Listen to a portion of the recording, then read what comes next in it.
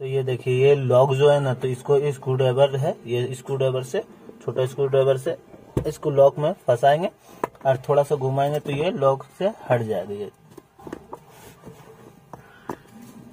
देखिए, ये कैप खुल गया ये पूरा स्क्रू नहीं खोलेंगे, थोड़ा सा फंसा के रखेंगे, फिर ये पोलसीटर को टानेंगे तो ये निकल जाएगा।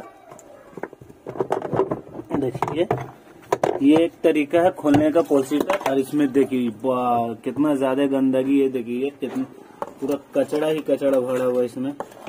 तो ये एक तरीका बता दिए पोलसीटर निकालने का। दूसरा तरीका ये है, कोई भी रस्सी ले लीजिए, आप रस्सी लेके, फिर ये साइड साइड में, इसको साइड साइड में फंसा लीजिए अंदर घुसा दीजिए रस्सी को।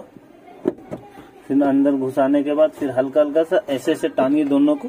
ये रस्सी दोनों तरफ़ से एक हाथ से ऐसे टानिए और फिर ऐसे